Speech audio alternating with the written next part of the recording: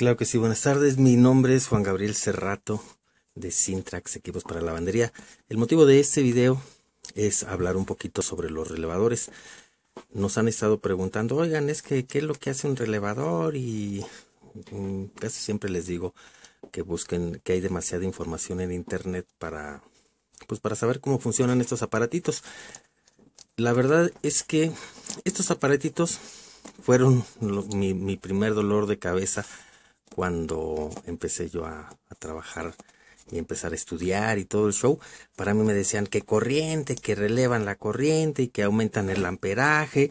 Y la realidad es que nada más me hacían bolas. Y yo decía, bueno, ¿y, qué es lo que hacen? ¿Para qué funcionan? Entonces este, este video precisamente lo hacemos para aclarar algunas dudas de qué es lo que hacen y cuál es su función específica, hablando en un, un lenguaje pues vaya más este más común para la gente que no este que no conozca mucho de electricidad. Dicen no es que le tienes que poner un relevador pero dicen y eso para qué sirve aumenta la corriente aumenta el voltaje aumenta y, y la realidad es que pensamos todo el mundo llegamos a pensar que estos aparatitos este aumentan que aumentan la corriente que aumentan la realidad es que no aumenta nada. Eso no es más que un switch que trabaja eh, es un switch que lo activa otro switch. Vaya la, redundancia. Miren, les voy, a, poner un ejemplo aquí con el papelito a ver si, si se ve. Supongamos que tenemos un circuito que es un motor. Todos sabemos que un motor pues le entra una línea y le entra otra línea. Podemos poner un apagador aquí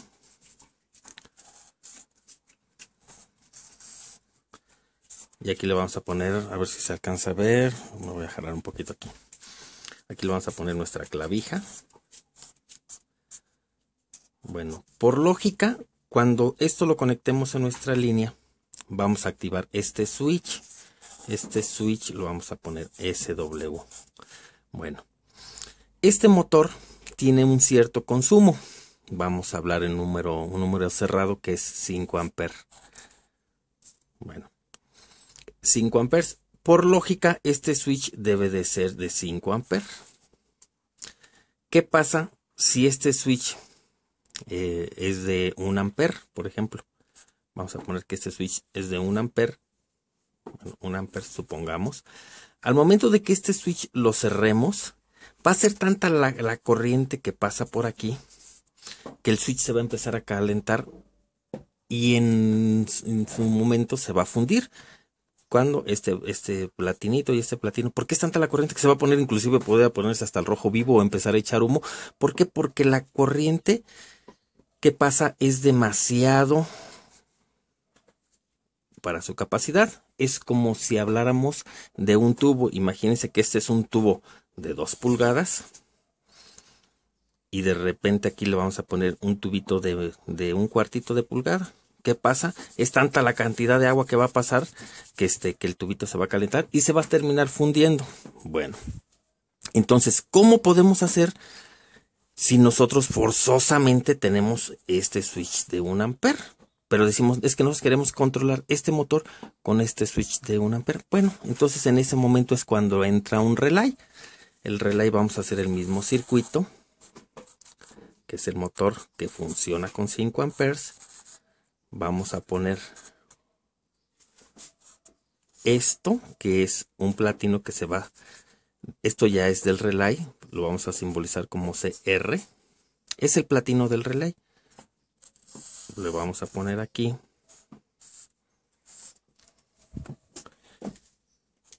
nuestra clavija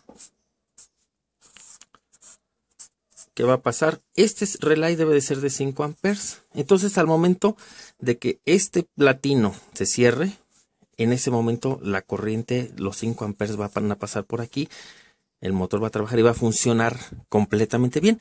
Bien, hasta ahí creo que está entendido.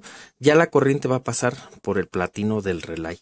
Pero, ¿cómo vamos a controlar el relay? Bueno, pues el relay, por así decirlo, tiene tres partes, que es la bobina.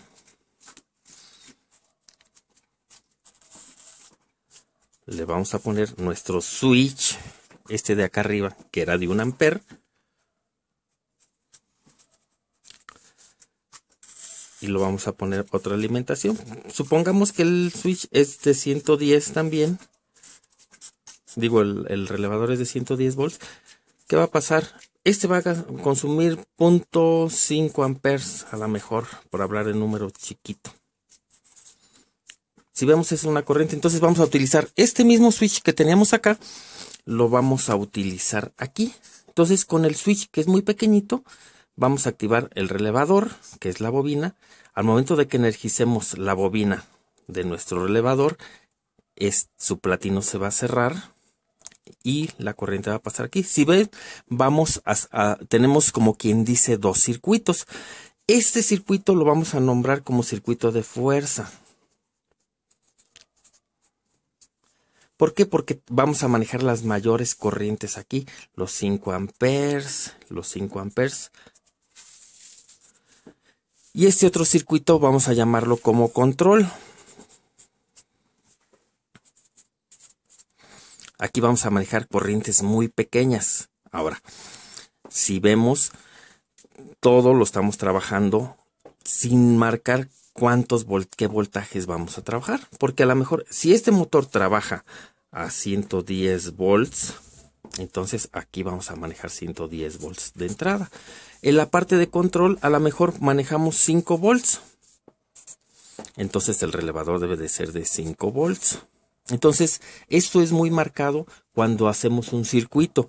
Tenemos que separar lo que es la parte de fuerza y la fuerza de control. Eso es lo que hace esto. Donde vemos, aquí por lo regular siempre traen los datos. Aquí tal vez no se alcanzan a ver los datos, pero este es un relevador de 12 volts. La bobina es de 12 volts